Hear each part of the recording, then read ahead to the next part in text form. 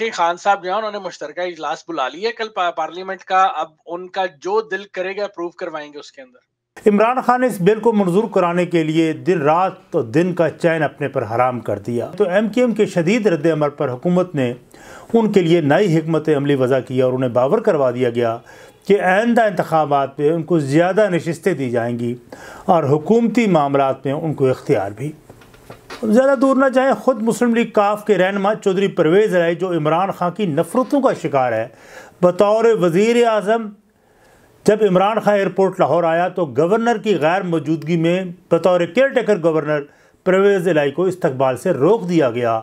जब इमरान खान को 2007 में पंजाब यूनिवर्सिटी लाहौर में इस्लामी जमीयत तलबा के कारकुनान ने सख्त तशद का निशाना बनाया और पुलिस ने उन्हें हिरासत में लेकर थाना सब्ज़ार पहुँचाया। तो एस एच ओ सब्ज़ार ने उन्हें इमरान खां को इन्फॉर्म किया कि उन्हें तो ये खबर थी कि इमरान खां की टांगे और बाजू तोड़कर पुलिस ही अस्पताल रेस्क्यू करेगी और उसकी मनसूबाबंदी उस वक्त के वज़ीर अला परवेज़ राय ने कर रखी थी। इमरान खान जेल शिफ्ट हो गए। उस वक्त जेल तक सहूलियात, ज़रूरियात ये खादम पूरी करता रहा। और फिर रिहाई के बाद वो मेरे घर तशरीफ़ लाए। और वही उन्होंने बहुत से कारकुनान की मौजूदगी में कहा कि वो परवेज़ लाई से इसका इंतकाम लेंगे। उससे पुलिस के ज़रिए मेरी बहनों को तशद का निशाना बनाया। तो मौलाना फजल रमान की आज गुफ्तु से मैं ये महसूस कर रहा हूँ कि हुकूमत को हुकूमत जो है वो कल के इजलास में महदूद अक्सरियत से बिल अपना मंजूर करवा लेगी। वज़ीर साहब हैं फैसल वाडा साहब जो अपनी नशस्त हार गए हैं और नशस्त छोड़ी भी यानी उनकी नशस्त भी पीटीआई हार गई है यूँ कह लें और उन्होंने नशस्त छोड़ी थी ड्यूअल नेशनैलिटी की वजह से। और वो ये कहते हैं कि राना शमीम शौकत सिद्दीकी और इस जैसे जितने भी और जज हैं इनको जूते मारने चाहिए और उल्टा लटकाना चाहिए। आज से 10-15 साल पहले एक वजादारी हुआ करती थी। सियासत में, मुखालफत में और फिर एक दूसरे को मुखातब करते हुए जमा का सीगा इस्तेमाल किया जाता था। फिर ऐसा लगता है जैसे कोई खुद रो पौधा अपनी तमाम तर बदनुमाइयों के साथ इस्तादा है। बिस्मिल्लाहमान रहीम उम्मीद है तमाम देखने सुनने वाले खैरियत से होंगे। आज की खबर की इस पॉडकास्ट में आप सबको खुश आमदीद। मेरे और आमिर शहबाज हाशमी साहब की जानब से तमाम देखने सुनने वालों को अस्सलाम वालेकुम और आप सबसे गुजारिश है कि हमारे चैनल जो है, उसके ऊपर हम रोज़ाना वीडियोस बना रहे हैं। आपका इसके बारे में क्या ख्याल है, कमेंट्स में हमें ज़रूर आगाह कीजिए। हमारे चैनल को सब्सक्राइब कीजिए, वीडियोस को लाइक कीजिए और दीगर दोस्तों से भी कहिए कि हमारे जो तबसरे हैं या जो हमारी बातें हैं, उनके ऊपर अपने कमेंट से, अपनी आरा से हमें आगाह ज़रूर कीजिए, क्योंकि आपकी कमेंट्स और आरा ही हमें बेहतरी की तरफ़ लेकर जाएँगे। आमिर साहब, उम्मीद आप सब, आप खैरियत से होंगे, सर? कैसे हैं आप? बड़ी मेहरबानी जी। अल्लाह का एहसान। सर, ज़बरदस्त। सर, आप तो इतनी बातें कर रहे थे सर अफजन आप तजिया दे रहे थे कि पार्लियामेंट में बिल मंजूर नहीं हो रहे, ऐसा नहीं हो रहा, वैसा नहीं हो रहा। आप देखें, खान साहब जो उन्होंने मुश्तरका इजलास बुला लिया कल पार्लियामेंट का। अब उनका जो दिल करेगा अप्रूव करवाएँगे उसके अंदर। जी, शाह जी, ऐसा महसूस होता है कि वज़ीर अजम इमरान खान ने इंतबी असलाहत को अपनी अना का मसला बना लिया है। और इसलिए भी कि इसी इंतबी असलाहत और वोटिंग मशीन ही में ही इसकी सियासी ज़िंदगी की बका है और वो उसके लिए आखिरी सतह पर जाने के लिए बाजिद है। और जिस तरह है ना, दिल भी एक ज़िद पर अड़ा है किसी बच्चे की तरह, या तो सब कुछ ही उसे चाहिए या कुछ नहीं। अभी कुछ देर पहले पीडीएम के सरबराह मौलाना फजल रहमान साहब ने भी कोयटे में एक भरपूर प्रेस कॉन्फ्रेंस से खिताब किया और कहा कि जाली हुकूमत नए इलेक्शन में अपने मतलूबा नतज लेने के लिए इंतबी असलाहत लाना चाहती है, लेकिन अपोजिशन ऐसा हरगज़ नहीं कहने देगी। आइंदा इलेक्शन के लिए अभी से अपने जाली पार्लियामेंट को ऐसी कानून साजी के लिए तैयार कर रही है कि आइंदा भी इलेक्शन में बड़ी आसानी के साथ वो धांधली कर सके। गुजशत दिन भी पार्लियामेंट का अजलास इसी उधेड़पन में गैर मुइना मुद्दत के लिए मुलतवी हुआ, क्योंकि कौरम पूरा न था। पार्लियामेंट में तो सबक chief justice Rana M Shamim का हल्फिया बयान ही मौजू गुफ्तु रहा। इमरान खान ने इस बिल को मंजूर कराने के लिए दिन रात तो दिन का चैन अपने पर हराम कर दिया। और हत्तल वसा कोशिश कर रहे हैं कि पार्लियामेंटेरियन से मुलाकातें जारी रहें और उन्हें जारी रखी। बहुत सुने उन्हें तरह देकर पतली गली से निकलने की कोशिश भी की। लेकिन इतिहादी जमातों में मुस्लिम लीग काफ के वफाकी वज़ीर पिसरे चौधरी परवेज़ इलाही चौधरी चौधरी मुनस इलाही को जी हाँ उनका जो बेटा है, मैंने कहा, पिछले चौधरी परवेज इलाई उनका बेटा है, चौधरी मुनस इलाई को राम कर लिया गया। वो जिसने अपने बुज़ुर्गों को राज़ी कर लिया है, और तो वहीं मुस्लिम लीग के दीगर अरकान को भी फिर चौधरी मुनस ने दरख्वास्त की कि वो हुकूमत को कुछ मोहलत दे दें। और क्योंकि जल्दबाजी में उनका सियासी नुकसान हो सकता है, और जिस तरह की ज़मानतें इमरान खान दे रहा है, वो कोई भी ना दे सकेगा। इसलिए इसी टिकट पर एंजॉय किया जाए। और दूसरी तरफ़ कराची से, और आपको पता है एम क्यू एम की एक कुछ ना कुछ तो हैसियत है। उनके पार्लियामेंट में मेंबर्स मौजूद हैं। तो एम क्यू एम के शदीद रद्द अमल पर हुकूमत ने उनके लिए नई हमत अमली वज़ा की और उन्हें बावर करवा दिया गया कि आइंदा इंतबात में उनको ज़्यादा नशस्तें दी जाएँगी और हुकूमती मामला में उनको इख्तियार भी। यही वजह है हुकूमत को हौसला मिल गया है कि उन्हें ऐवान में बिल मंजूर कराने में कदरी, कदर अक्सरियत अब मिल गई है और वो दोबारा इजलास बुलाने का अंदिया दे चुके हैं और बुध को मुश्तर इजलास तलब कर लिया गया है। हालाँकि इससे पहले सदर पाकिस्तान आरफ अलवी साहब ने 11 नवंबर को इजलास तलब किया था, लेकिन अक्सरियत ना होने की वजह से ये इजलास मुलतवी हो गया था। और दूसरी तरफ़ हजब इख्तलाफ को इस बात का इल्म है कि ये इंतबी असलाहत मुल्क को शफाफ, मुनसफाना, आम इंतबात से हमेशा हमेशा के लिए महरूम कर देगी। फिर भी कोई भी शहरी इमरान के गज़ब से महफूज ना रह सकेगा और वो उसे अपने इंतकाम का निशाना ज़रूर बनाएगा। ज़्यादा दूर ना जाए, ख़ुद मुस्लिम लीग काफ के रहनमा चौधरी परवेज़ राय, जो इमरान खान की नफ़रतों का शिकार है। बतौर वज़ी अजम जब इमरान खान एयरपोर्ट लाहौर आया तो गवर्नर की गैर मौजूदगी में बतौर केयर टेकर गवर्नर परवेज़ इलाई को इस्तबाल से रोक दिया गया और कहा गया कि वज़ी अजम को उनका आना पसंद नहीं। अब उसके पीछे भी मैं अगर एक आपको पस पर्दा एक छोटा सा वाक़ सुनाता हूँ।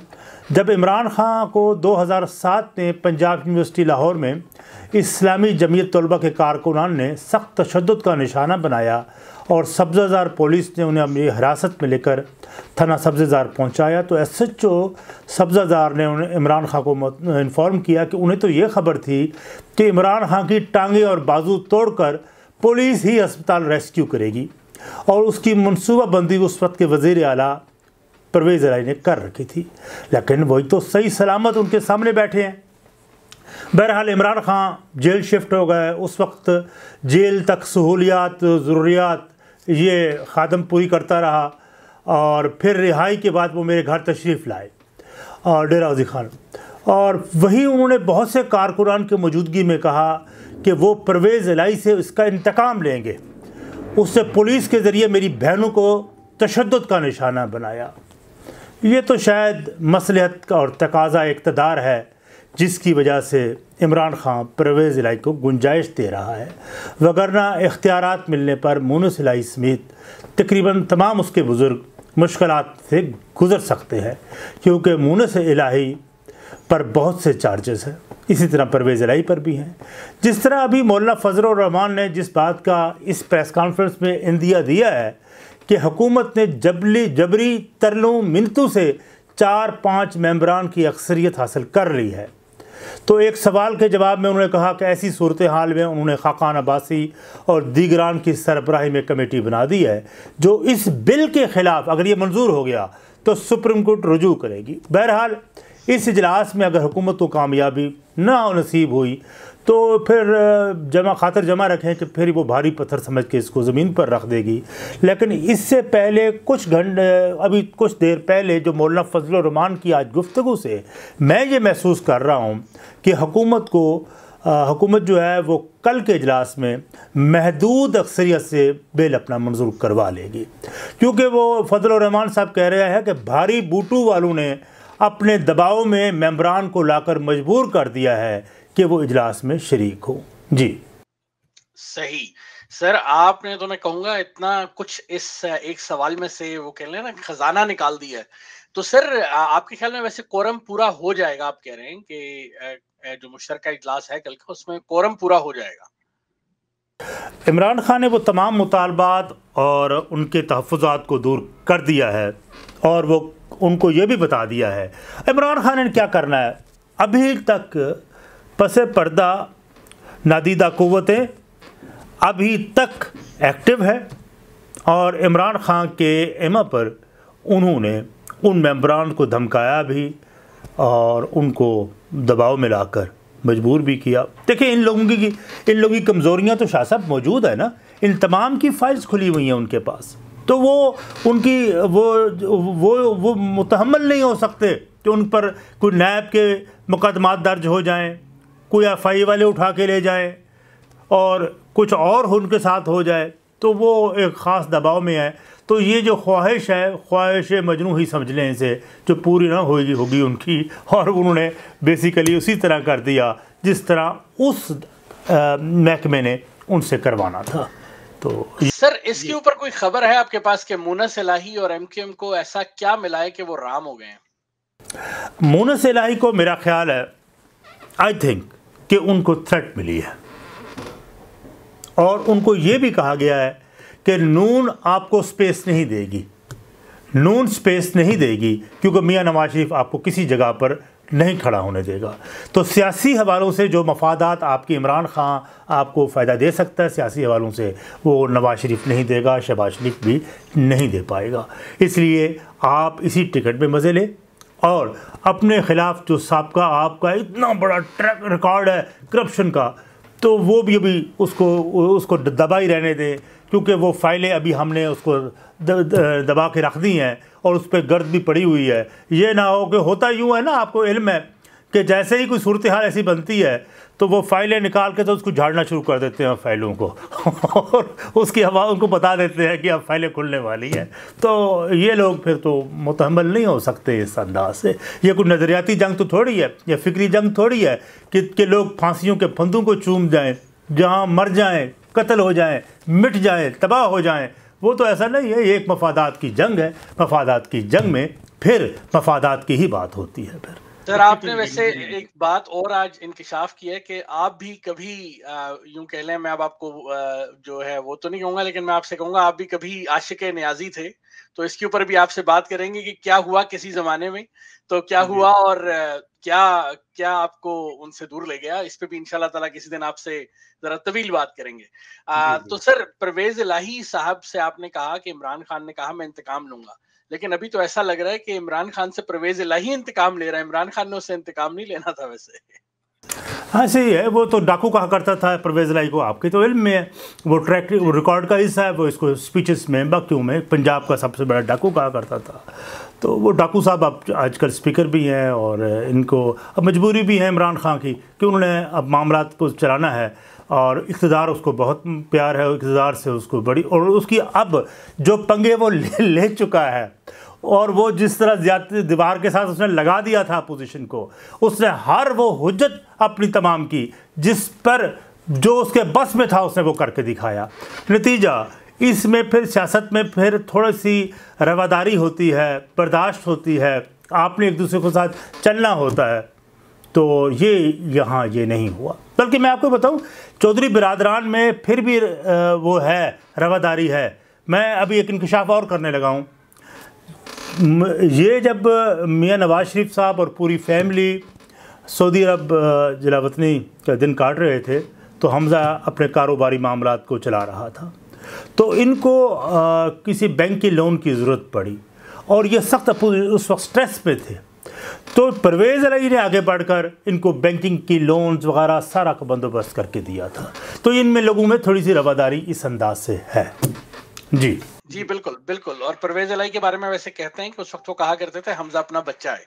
और. ये भी कहा जाता है कि हमजा शहबाज को वज़ीर आला बनाने पे मुस्लिम लीग काफ आज भी एग्रीड है लेकिन मरियम साहिबा इस बात पर एग्री नहीं है। जी आ, सर आपने राना शमीम साहब के बयान का ज़िक्र किया पार्लियामेंट में उसकी गूंज जो है वो सुनाई देती रही।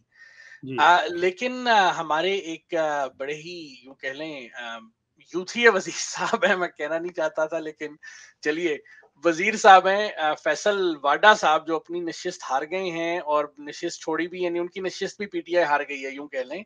और उन्होंने नशिस्त छोड़ी थी ड्यूअल नेशनैलिटी की वजह से।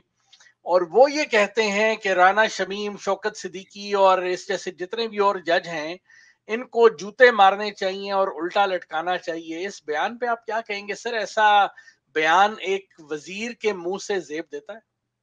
असल में बहुत अफसोस होता है। आज से 10-15 साल पहले एक वज़ादारी हुआ करती थी।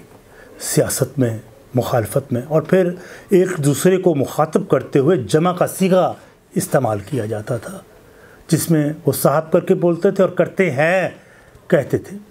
लेकिन इमरान खान तो वो है जो इंसान तहजीब व तमदन से आ रही है। और तहरीक इंसाफ की जैली लीडरशिप तो तमाम तर इकदार से तह दामा है।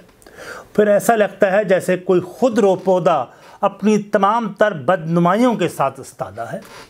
बोलते हैं तो तफन पैदा होता है और अमल तो उनका अल्लाह माशा अभी कल ही वफाकी वज़ीर फैसल वाडा ने आपने भी देखा होगा हमने भी देखा कि निजी चैनल पर एक इंटरव्यू में इस तरह की गुफ्तु की जिस इस जम, इस जमात के कारकुन कारकुनान की तरबियत का पता चल गया। उन्होंने राना शमीम सबक चीफ जस्टिस गिलगित और बल्तिस्तान के अलावा जस्टिस शौकत सदीकी का नाम लेकर कहा कि इन रिटायर्ड जजेस को चौक पर खड़ा करके बल्कि उल्टा लटका कर लितर मारने चाहिए, ताकि उनको पता चल जाए। ये लोग शरीफ और ईमानदार जजेस को बदनाम करने के लिए उन पर कीचड़ उछाल रहे हैं और मुल्क को अफरा तफरी की तरफ़ लेके जा रहे हैं। इसलिए उन्हें ऐसी सज़ा देना ज़रूरी है।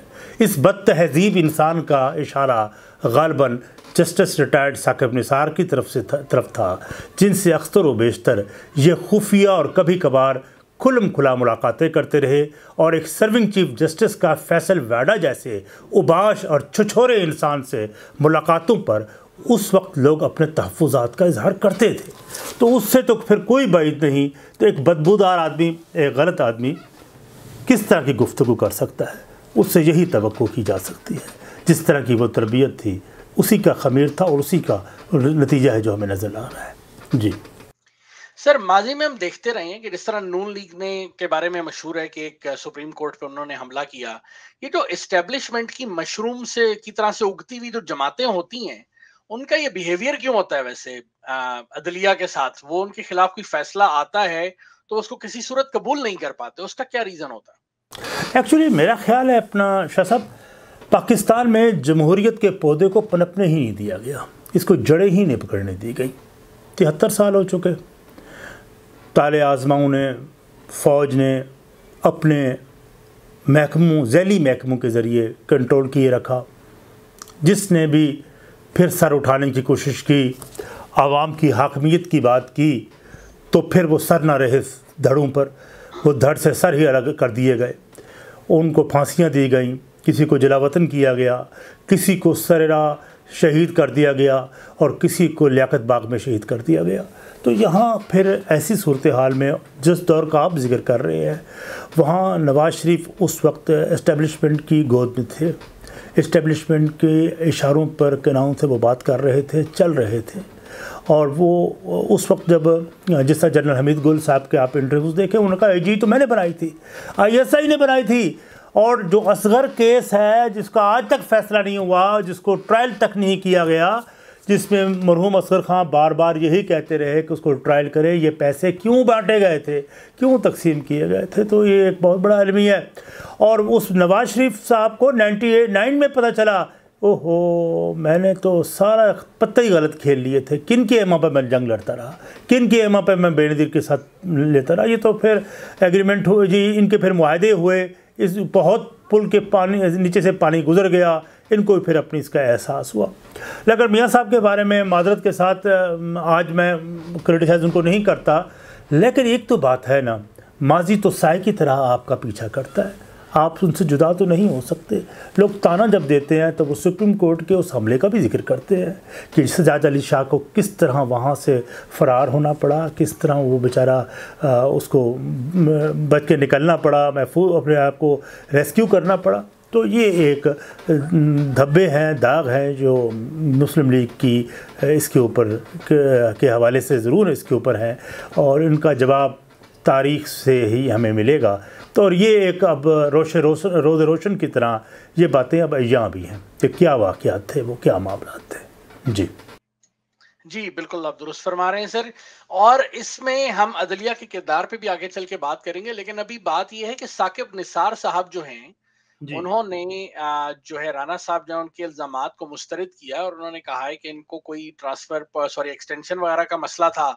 मैंने, मैं इसलिए ये मेरे खिलाफ हो गए हैं, मुझसे नाराज़ हैं या वट तो ये ये इसको मेरा ख्याल से समझना कोई ज़्यादा मुश्किल काम तो नहीं है कि वाकई में वो उनसे नाराज़ हैं, उनसे मुलाकात हुई थी, नहीं हुई थी, फ़ोन कॉल जिसका ज़िक्र किया जा रहा है वो हुई थी, नहीं हुई थी। तो इसके ऊपर गवर्नमेंट को इन्वेस्टिगेशन क्यों नहीं बिठाती है सुप्रीम कोर्ट को इन्वेस्टिगेशन ऑर्डर क्यों नहीं करती? अच्छा इसके ऊपर साकब निसार साहब ने तो स्ट्रेट स्ट्रेट अवे उन्होंने कहा कि ये झूठ है, ऐसा नहीं हुआ था। और उन्होंने कहा, ये हकायक से बरक्स ये सारी बातें हैं। और उन्होंने साकब निसार ने ये कहा कि क्योंकि जस्टिस शमीम साहब एक्सटेंशन चाहते थे और मैंने उनको इनकार कर दिया था तो ये अब रेवेंज है इनका, ये मुझसे इंतकाम ले रहे हैं। तो और ये एक्सटेंशन ना देने की वजह से मुझे ये इन्होंने मातूब किया है। तो लेकिन इसलिए फिर साकब निसार साहब ने इसे मन गढ़त और झूठ का पुलंदा करार दिया। लेकिन दूसरी तरफ़ राना शमीम साहब का कहना है कि सुप्रीम कोर्ट के चीफ जस्टिस की जुरिस्डिक्शन ही नहीं थी कि वो मेरी मुद्दत मुलाजमत में तोसी करते। और वहाँ तो मुद्दत मुलाजमत में तोसी का अख्तियार वज़ी अज़म के पास था। तो उन्होंने कहा कि जब उनके पास इख्तियार ही नहीं था तो वो किस बुनियाद पर? और फिर उन्होंने कहा, उस बात का कोई साबित करे कि मैंने उसके लिए कोई एप्लीकेशन दी हो, कोई मैंने रिक्वेजिशन भेजी रिक्वेस्ट भेजी हो, कोई ऐसी चीज़ हो, वो भी उनके पास नहीं है। ये मेरे पास अपनी फैमिली के साथ गिलगत आए थे, अपनी बेगम के साथ गिलगत आए थे और उस रेस्ट हाउस पे वो उन्हें ठहरे थे। और, वहाँ फिर उन्होंने कहा कि ये तमाम बातें हुई जो मैंने रिकॉर्ड का हिस्सा बनाया। और उन्होंने कहा फिर मुझे मुद्दत मुलाजमत में तोसी मांगने की ज़रूरत ही नहीं थी। तो और ये एक वाज तौर पर राना शमीम ने ये कहा कि ये मैं अपनी बात पर और अपने मौक़ पर कायम हूँ। और अब साकब निसार साहब का के हवाले से आ, उनसे आप हर चीज़ की तो कर सकते हैं। कि वो किस कमाश का और किस जहनीत का इंसान था जो से किसी दौर में मियाँ नवाज़ शरीफ का मुंशी कहा जाता था। और वो किस तरीके से आगे आया, क्या सूरत हाल है, उनसे हर उस बात की तो की जा सकती है। और राना शमीम साहब की जो माजी के हवाले से अभी तक ये बहुत छानबीन कर रहे हैं, हालाँकि इससे पहले वो सिंध हाई कोर्ट के भी जज रहे हैं। राना शमीम साहब। लेकिन उनके ऊपर अभी तक कोई ऐसा सबका रिकॉर्ड ऐसा नहीं जिस पर कोई हम कह सके कि इसकी वजह से इन पर कोई ये इल्ज़ाम आयद हुए थे माजी में। तो इसलिए नस्बता बाकी जजेस के वो साफ़ सुथरे किरदार के हामिल हैं। जी। सही। लेकिन सर, इससे अदलिया के जो एक किरदार है, उसके ऊपर एक बहुत बड़ा धब्बा है ये बेसिकली अगर देखा जाए तो। तो अदलिया इसके ऊपर या इस वक्त के जो चीफ जस्टिस साहब हैं आ, उनको हम मुख्तलिफ़ चीज़ों पे नोटिस लेते देखते हैं तो वो इस बात पे सो मोटो नोटिस नहीं ले सकते क्या? आ, मेरा अपना ये ख्याल है ये सब इस रंग में रंगे हुए हैं। अब देखें justice high court Islamabad high court Athar Minallah ने इस पर सो मोटो एक्शन लिया बुला लिया नोटिस सर्व किए फिर उन ओ, उनको धमकाया भी और आज फिर सोलह तारीख की मैं डेट भी दे दी है उन्होंने। और उनको कोशिश कर रहे हैं कि इसको ज़रा दबा दिया जाए मामले को। या उसने कहा कि आप, बल्कि उसने ये कहा कि आपको क्रिटिसाइज करने का तो हक़ है, लेकिन आपको अदलिया के वक़ार से खेलने की इजाज़त नहीं दी जाती। तो शाह साहब, कहाँ का वक़ार? कहे का वक़ार? वक़ार तो आपने अपने पाँव तले खुद ही रोन दिया। वक़ार की तो आपने ऐसी की तैसी फेर दी। जब आप ख़ुद फ़ोन करके लॉबिंग करके और आईएसआई के कहने पर आप सर बाकी बातें भी छोड़ें। यहाँ मैं माजरत के साथ मैं मुख्तलिफ़ मुकदमात में मैंने ये भी देखा कि जहाँ आर्मी की इन्वॉलमेंट होती थी या आर्मी चाहती थी, दहशत गर्दी की अदालतों में आई एस आई के मेजर आया करते थे और वो बैठ जाते थे जज के सामने कि ये ये भी, ये फ़ैसले इस इस अंदाज से करो और वो उससे वैसे ही करता था वो। तो ये तो ये तो बहुत बड़ा मामला था जिसमें justice general general Faiz Hameed साहब को ये भी एहतमाल था कि भी उनकी दो साल की सारी और मनसूबाबंदी ज़ाय ना हो जाए, तभी तो उन्होंने शौकत सदगी के साथ जो जो किया। अब जैसे जो मौक़ पे खड़ा होता है, जो असूलों पर डट जाता है, उसका हशर जो है, वो फिर शौकत सदगी जैसा ही होता है। उसको फिर रिटायरमेंट भी नहीं मिलती, उसको ज़िलत तो ख्वारी ही मिलती है। तो हर आदमी फिर कोई मज़बूत आसाब का नहीं होता, मौत का भी तो खौफ होता है, और भी ज़िलत का भी एहसास होता है। तो फिर इसलिए वो समझौते फिर करते हैं उसके ऊपर, जी। जी। तो सर, इस सिलसिले में मैं आपसे, मैं बस आखिरी सवाल ये करूँगा कि आप जिस तरह से बयान कर रहे हैं, अदलिया जो है, वो तो बिल्कुल कभी सियासतदानों की और कभी इस्टेब्लिशमेंट की लोंडी बन के रह गई है। ऐसी सूरत हाल में माशरे में अमनो आशती कैसे होगी? इंसाफ का बोलबाला कैसे होगा? आम इंसान तो पिसता ही रहेगा। ऐसी सूरत हाल में आप क्या समझते हैं कि अदलिया को अपना वकार बुलंद करने के लिए कुछ और करने की ज़रूरत नहीं है आप जी, बिल्कुल सही फरमा रहे हैं आप। होता यूँ है कि जिस तरह मैंने पहले अर्ज़ की, जस्टिस नसीम हसन शाह से इफ्तार एक बड़ा सीनियर सहाफ़ी हैं, उनसे सवाल किया शहीद जुल्फ़ार अली भुट्टो के केस मुकदमे के हवाले से। तो उन्होंने एक बड़ा बरमला एक बात का एतराफ़ किया कि हम भी जजेस भी इंसान होते हैं, हमारे अंदर भी खौफ होता है।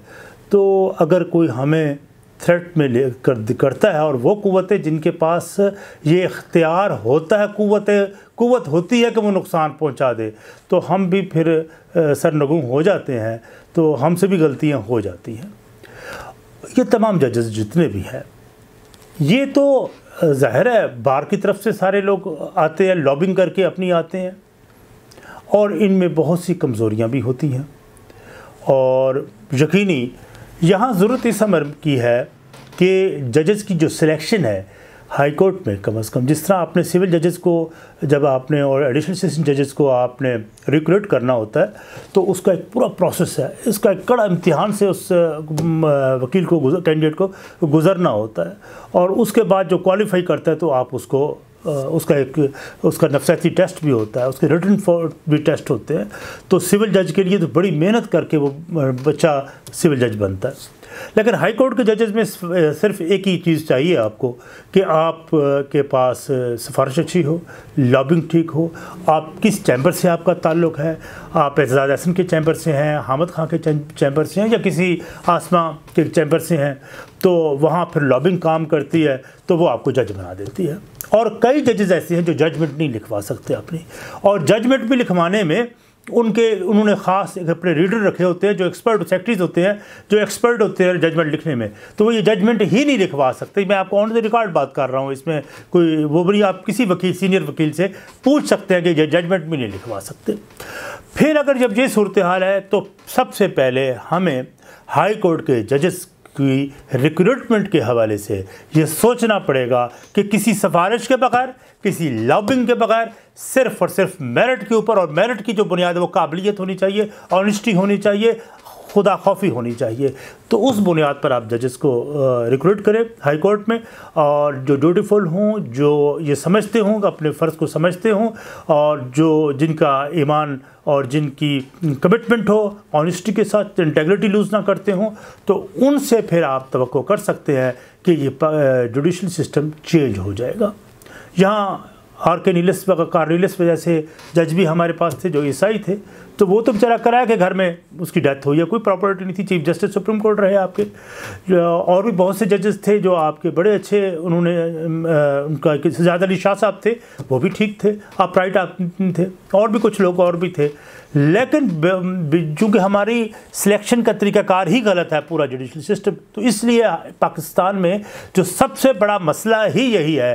जिस तरह चर्चिल ने कहा था सेकेंड वर्ल्ड वार में, जब पार्लियामेंट में बड़ा इस पर शोर गुल हो रहा था और जर्मनी ताबड़तोड़ हमले कर रहा था और वहाँ इनारकी फैला पैदा हो चुकी थी इंग्लैंड में।